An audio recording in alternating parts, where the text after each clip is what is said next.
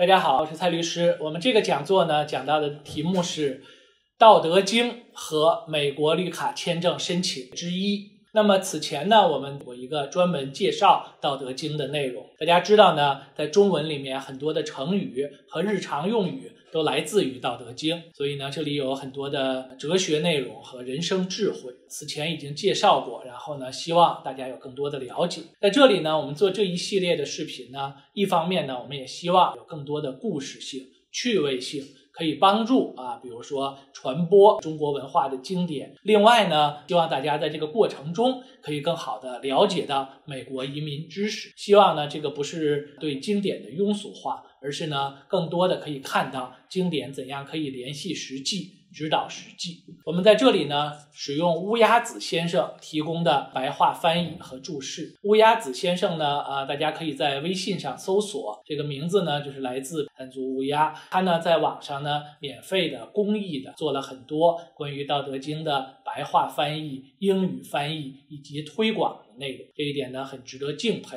大家通过微信搜索或者网络搜索，都可以看到更多的内容。《道德经》呢，有八十一章。然后，但是一共只有五千言，五千个字。我们在这里呢，先讲前面十章啊，一些简单的内容。有第一章啊，大家知道内容，很多人听说过，叫“道可道，非常道”。这个翻译成白话呢，可以说叫“可以言传之道，不是永恒之道”。在这里联系到我们的专业，可以说呢，人生充满了变化。大家知道呢，美国绿卡和签证的申请形式、排期要求等等，都在不断变化中。所以呢，此前我们在别的讲座里都讲到，呃，不能刻舟求剑，是吧？有的申请人说，哎，过去怎么怎么样，几年前怎么样，哎，我听说的事情怎么样啊？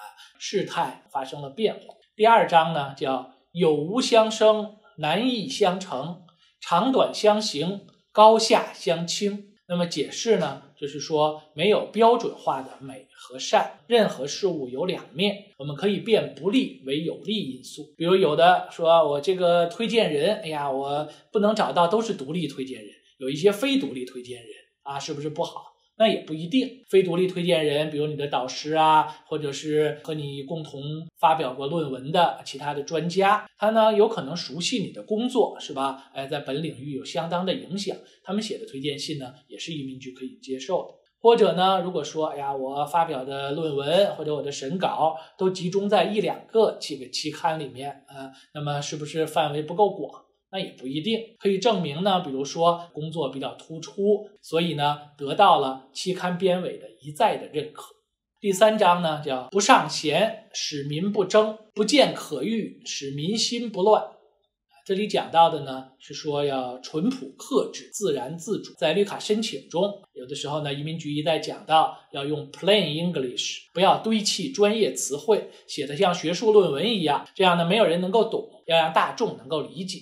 大家知道呢，美国的政治家，不管是总统还是议员，讲话呢一般也都要平易近人，啊大众都能够懂。我们举一个例子呢，比如著名科学家爱因斯坦的工作，无非呢也可以简单总结成四部分：狭义相对论、广义相对论、光电效应，还有统一场论。最后一部分还没有完成。那有的人说我的工作呀，这个非常重要，说也说不完，是吧？那一般来说总不会比爱因斯坦的还重要啊，他的都能够这样简单总结，是吧？你的也可以。第四章叫道冲，和其光，同其尘。和光同尘，有时候呢会被负面理解为甘于平庸，不求进取。但是呢，从正面理解呢，可以叫有光风霁月的胸怀。有这个两句诗叫“学问多自虚心得，风物长宜放眼”。就说不要拘泥于一时的得失啊。有的人每天都会关注啊，排期又有什么变化，申请形式又有什么变化，有多少人申请。这个呢，更多你可以看这个叫 big picture，你自己的人生目的准备怎样来实现，而不是每天都关注细微的变化。当然，股市也是一样的。第五章，呃，天地不仁，天地不仁，以万物为刍狗。这个呢，看起来是比较负面的，但是可以理解为自然有自己的规律，不以人的感情为转移啊，是吧？有几句诗叫“修使眼自哭，收辱泪纵横，眼哭即见骨。”天地终无情，这个是杜甫的唐诗，可以理解为呢，比如说，呃，你要了解情况，在当前的形势下采取行动，而不是呢 emotional 是吧？一味的抱怨。举一个例子，比如说你出生在中国，是吧？有的人说这叫 hard 模式。一位著名物理学家何作修说啊，谁叫你出生在中国了，对吧？那么绿卡排期可能时间会比较长。但是另一方面呢，来自中国的人比较多，大家知道呢，会中文有的时候也有很多现在和将来在职场、商业方面的优势。第六章，古神不死，是谓玄牝。绵绵若存，用之不勤，这个可以解释为环境保护，不要过分索取。那么在申请中呢，比如要适可而止，申请材料吹嘘不能过度，要有事实根据。我们举的一个例子呢，比如你可以说我有一辆 Toyota Corolla 的这个啊轿车啊，我可以说它的 engine 很 powerful 啊，这个是 opinion 是可以的，但我不能说它有八个气缸啊，这个不符合事实。那么接下来第七章。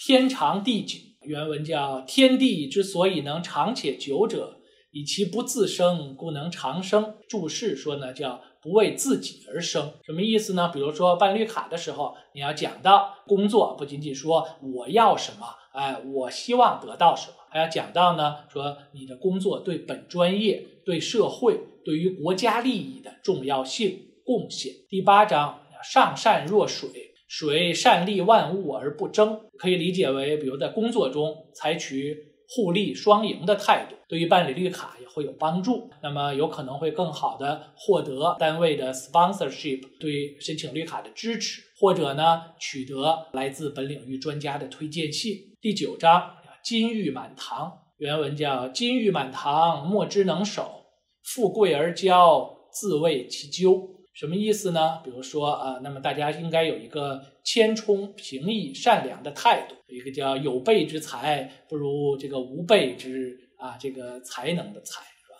金钱不是万能的。比如说呢，一比五投资移民需要花很多钱，但是呢，现在还要等很长时间。从另一方面，可能更贴近的呢，有一些申请人说啊，我出很多钱，然后呢，说让这个中介机构给我包装，无中生有，创造出一些材料来。这个呢，恐怕对于申请并不见得有好处，从长远来说，还会给申请人造成麻烦。第十章，为而不恃，长而不宰，是谓玄德。这个刘备刘玄德名字可能是从这里来的。这什么意思呢？叫无为不折腾。那比如说，有的申请人经常说啊，我的申请呃提交了一段时间还没有消息，我是不是应该用加速审理呀？应该用 PP 呀？或者呢，我应该提交一个 service request 啊，或者给移民局打电话，经常去骚扰他们。根据我们的经验呢，像以上种种呢，往往并不有利于申请得到顺利批准，有的时候呢还有负面影响，对吧？移民官也是人，有的时候呢他的 workload 完成不了，然后经常受到催促，有的时候可能就发一个模板的